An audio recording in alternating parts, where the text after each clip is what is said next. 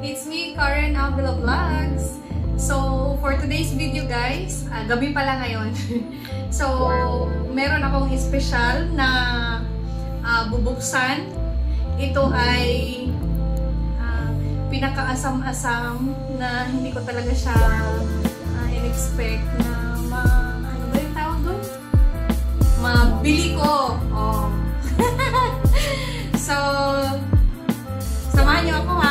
Mag-unbox tayo ngayon.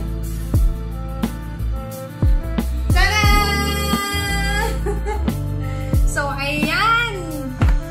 Walaan niyo kung ano to. So, tara guys. Atin nang simulan ang ating pag-unboxing. Ayan. Ito na siya. Ito na siya.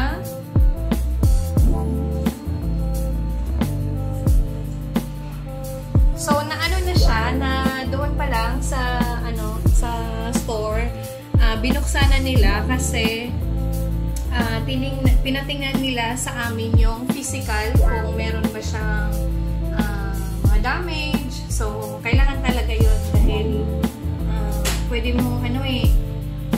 So, ito ay nakabukas na pero yung ano, hindi ko pa siya talaga nakita.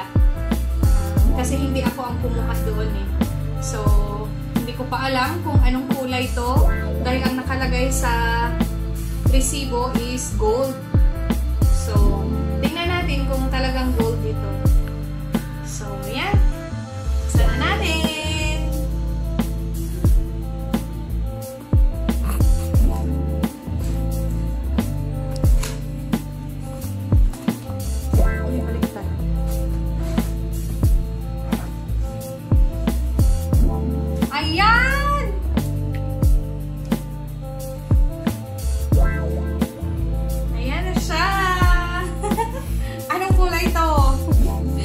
tingin nyo?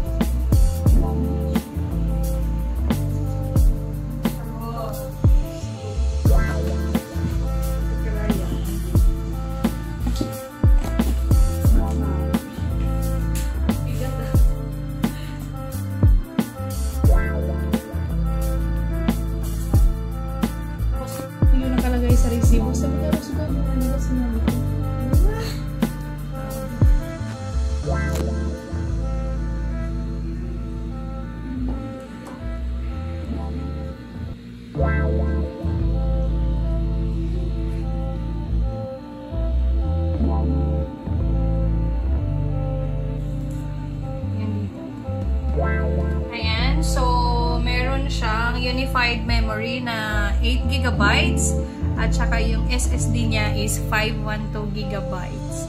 So ito ay Apple M1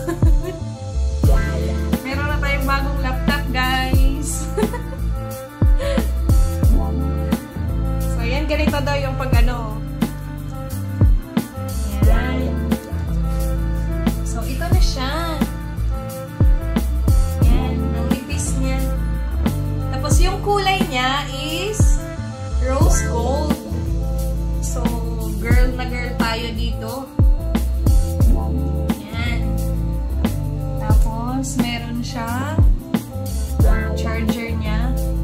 Ibang klase yung charger niya at saka yung from ano from charger to ano to mismong laptop dahil type C na siya.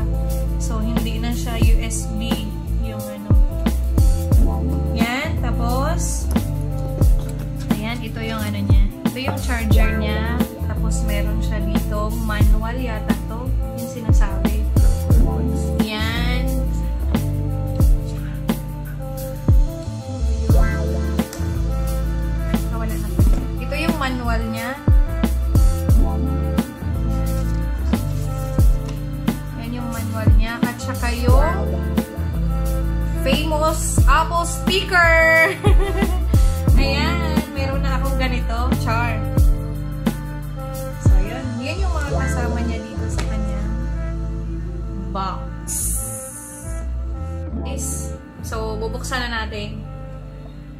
Samantala.